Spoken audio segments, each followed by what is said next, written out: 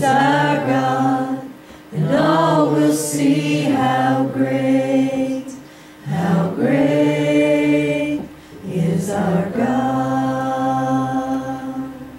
How great is our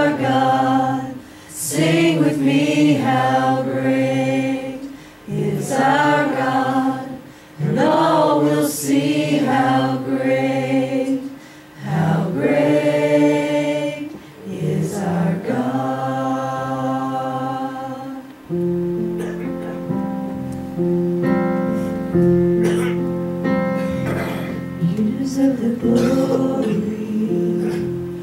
and the honor.